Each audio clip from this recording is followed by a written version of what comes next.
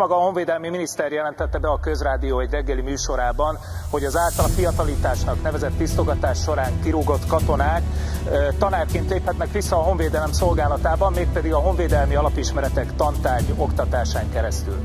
Lássuk államtitkár úr, hogy jól értjük-e. Tehát miközben önök megvonják a pedagógusok sztrájk jogát, kirúgják azokat a tanárokat, akik ez ellen tiltakoznak, és a közoktatásban szereplők ellenállása miatt bosszú törvényel büntetik a jövő generációit oktató nevelő szakembereket, kirúgott katonákat küldenének az iskolába miközben van olyan természettudományos tanárszak, amire idén mindössze egy hallgató jelentkezett, miközben már nem csak a vidéki kisiskolákat, hanem a budapesti gimnáziumokat is tanárhiány sújtja, önök ezt kirúgott katonák visszafoglalkoztatásával orvosolnák.